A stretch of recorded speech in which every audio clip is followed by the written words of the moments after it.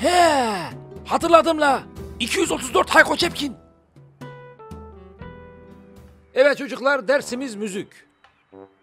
Bugün biraz başım ağrıdığı için her zamanki gibi serbest takılacağız. Sanki Mozart mı olacaksınız? 234 Hayko Cepkin. Söyle bakayım oğlum bir şarkı. Ben mi hocam? Yok baban. Söylesene oğlum. Ben de burada rahat rahat vergi iadesi zarfımı yazıp...